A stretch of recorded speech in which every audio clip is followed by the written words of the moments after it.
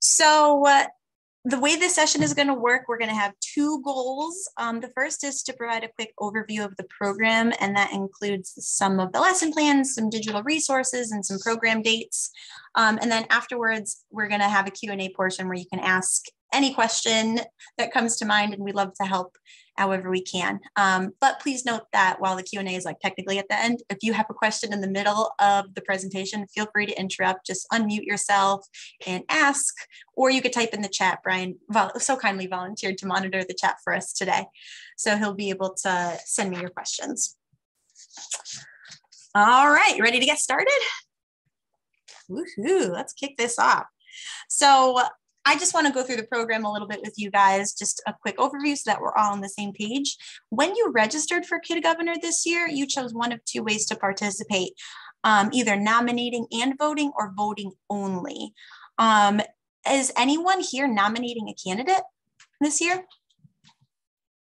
Yeah, all right, that'll be a lot of fun. Cool. And are anybody, is anybody voting only? Oh, you're nominating Kathleen. All right, noted. All right, so it looks like the majority of us today are nominating and voting. That's my favorite way to participate. So I'm glad that you guys are nominating. It's going to be a lot of fun for you and the kids. Um, so the names are pretty self-explanatory, but I'll just go over them just to make sure that we're all on the same page. Nominating and voting classes are the ones who submit a potential candidate to, to run for kid governor in the election. And voting only classes, of course, only vote in the election. Both uh, classes get a chance to vote. Um, oh, Tara, you'd like to nominate but haven't done it before. So if you hear the program, like the presentation today, and get inspired, you could change your registration to nominating at any time. So just let us know, send me or Brian an email, and we'll update your registration form. Um, so both classes vote in the election, and both classes get the same core lessons. Um, the lessons go over things like the three branches of government, what a governor is, um, leadership, and and then eventually lessons to go along with voting in the election itself, like how to analyze a video, what you're looking for in a candidate, things like that. History of voting rights as well as one of the core lessons. Um, but then the nominating and voting groups, you guys get extra lessons, which go through things like how to decide on a platform and do good research and um, develop a three point plan and uh, create a video. So the nominating and voting classes have a little bit of extra lessons in order to accommodate the extra tasks that you have in the nominating process. Um, all of these lesson plans can be found on the Connecticut Kid Governor website as well as our Google Shared Drive. And the Google Shared Drive is really cool because there's other resources there besides just the lesson plans themselves. So we can go over what those look like and where you can find everything on Google. Um, so in when you registered for Kid Governor, you guys got access to the Google Drive. Um, if you're not familiar with Google Drive, it's like a digital way to store and share files with each other. So that's what you have access to upon registration. Um, in order to access the shared drive, you can visit the website at the bottom of the screen, or if you go to the Google Drive homepage, it's in, it's you can see it at a menu option on the left-hand side of the screen. It's called shared drives, or you can just go to drive.google.com slash drive slash shared drives. it is a mouthful to say, but the link is right there for you, and it's easy to navigate and click through Google as well. So I'm going to bring up Google Drive itself and kind of show you how to run through and, and find the resources you need. So this is the home screen of the shared drive.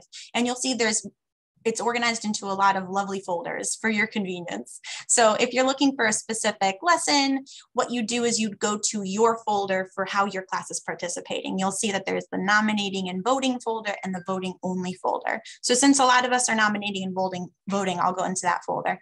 So you click that folder and then each lesson has its own folder inside the folder. Each lesson is organized further into subfolders. So let's say I'm starting off, I'm teaching lesson one. I found my classes folder and now I'm going to click what lesson I want to teach. I'm going to click lesson one, introducing Connecticut's three branches of state government. This is where all of the materials for lesson one can be found and they're organized even more for you. Um, there are PDF versions of the lesson plan itself and also the worksheets that go along with the respective lesson. There are Google versions of all of the lesson activities So if you're a Google Classroom user, this is gonna be a great stop for you to visit. There's Google Forms versions and Google Slides versions. However you'd like to utilize Google Classroom for your class, we try to offer a resource for you. Um, there are also select lessons that come with Bitmoji classrooms, and I'll get into that a bit later, but that's another resource available to you. And also this fifth folder, which I'll also dive a little deeper in with you, is called additional activities and resources. So besides the core components of the lessons, the worksheets, the actual plan, um, these are all the fun extra stuff that you might want to peruse as you plan your lesson. So I'm going to click that to show you some of the things that are available for lesson one in particular. So in the additional activities folder, there are different resources for different lessons. Lesson, sometimes there will be videos for you to show the students. For example, the three branches lesson, lesson one, has different videos from different executive officials and they explain each role of each branch of government. So it's really cool because you have real officials working in that branch explaining what the branch is and their role. So we find those really awesome uh, for the class for classroom use a lot of the lessons also have teacher presentations. So if you're teaching the lesson and you just want a slideshow for visuals and whatnot, that could be found here as well. And then every lesson has a Flipgrid prompt. And if you're not familiar with Flipgrid, it's like a video uh, website where students can up, record and upload private videos. And this allows them to reflect. So we'll provide a prompt for each lesson and the students will be able to answer that prompt in video form. And it can be used as like an exit ticket as the students think about what they've learned. Um, so those can be found in the additional activities slash resources for each lesson. Does anyone have questions so far about the resources available or how to find them? Yes. Are you there? Oh, Tara, well, I, I'm, I think you connected to the audio. Hello, welcome. I hope you can hear me now. Uh, yes. Great. All right. So I'm going to go back then because I want to go over the other things that you might find. Um, so my bad. Let me go back to the Google Drive really quick. So in the additional resources folder, you have all of these options, but for select lessons, there are also different resources. For example, um, lessons one, two, and five have Bitmoji classrooms for your uh, for your use. You can submit, you can send these to students and have them click and, and go through all the materials and learn kind of about the lesson independently, or you can project the slides um, and go through the lessons with the class all together. You can really set it up however you want. Um, and kids really like it because you can click through all of the different uh, visuals in the in the um, presentation and it'll bring you to different links to learn a little bit more. For example, if you click on Makai's picture in this, it'll bring you to our uh, Connecticut's Kid Governor website. That's all about Makai and his platform and things like that. So it's really engaging for students because they get to click around and learn a little bit more and engage with the content in the individual different ways. It's a lot of fun. Um, each lesson additionally on the lesson homepage, oops, each lesson additionally has a video introduction to the lesson, which is a great way to launch each lesson. It kind of explains what the lesson is going to be about and what the kids are going to be learning about. So it's helpful for the students to get them excited about the lesson of the day and also helpful for you to orient yourself with the lesson objectives and everything like that.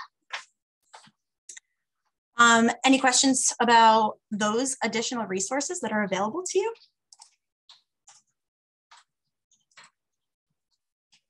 All right. And let me keep on going. In addition to all the digital resources, um, we also offer physical resources in the form of voting kits.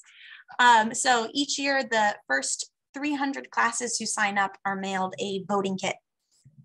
And uh, they'll be mailed to you at the end of October, just in time for election week. And um, they have a lot of fun things to help you and the students get really excited about voting. For example, each kit this year will come with a mini voting booth, which is like those cardboard trifold privacy shields um, where the students can cast their ballots with privacy and have their own little voting area. Um, I voted for Connecticut's Kid Governor stickers to you know add to the authentic election experience um, printed ballots that are designed based on the real connecticut ballot so you, you'll receive printed versions of those with your voting kit um, pencils for every student to cast their ballot and keep as a fun memoriam, um, Connecticut's Kid Governor pins, balloons to make your polling place fun and exciting, and one copy of a civics book. And last year, the civics book was called Say Something. And this year, um, the book will be a surprise. It changes every year. So it'll be a fun to unbox. Um, so again, look out for these in about a month, just in time for the statewide election. I also want to mention one thing while we're talking about voting because um, at our previous session, some teachers had questions about voting. Um, the on this week of the, on the day that you guys vote in the statewide election, you can use the paper ballots, but we at governor headquarters do not need the paper ballots. We'll send you a separate digital form for you to compile the results and send them to us. So the paper ballots are to make it authentic and fun for the students, but we receive the results digitally and we'll send you all the information you need about that as election week approaches. Any questions about voting kits?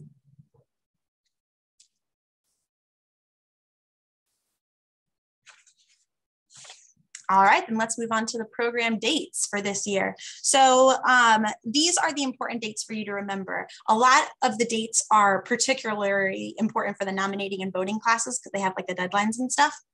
Um, if you're nominating and voting, we recommend starting your classes this coming Monday, October 3rd, just that you have enough time to really dig into the material with the students and make sure they have enough time to create their platforms and their videos.